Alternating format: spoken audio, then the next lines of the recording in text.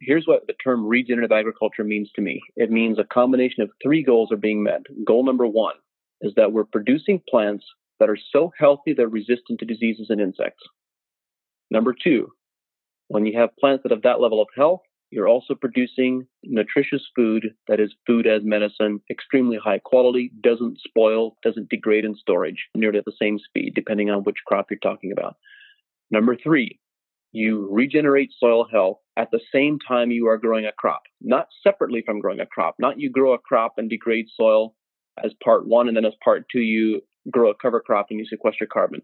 But you need to have an agricultural ecosystem that accomplishes all three of those objectives while you are growing a crop, whether it's a corn or soybean crop, or whether it's stone fruit or tomatoes, it doesn't matter. We need to be on the pathway to achieving each of those three goals.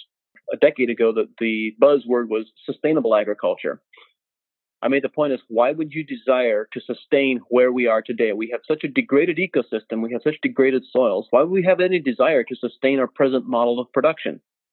Instead, we first need to have a regenerative system that reaches a much higher plateau of performance, can achieve all these results, and then at that point, and only at that point, can we have a true conversation about sustainability. So I would say that this regenerative agriculture is regenerating the ecosystem on the pathway to true sustainability. And the metrics that I see for that that are so broad, they encompass and cover everything else are those three pieces.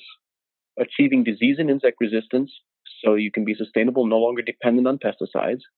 Achieving nutritious food that is food as medicine so you can sustain a healthy human and animal population.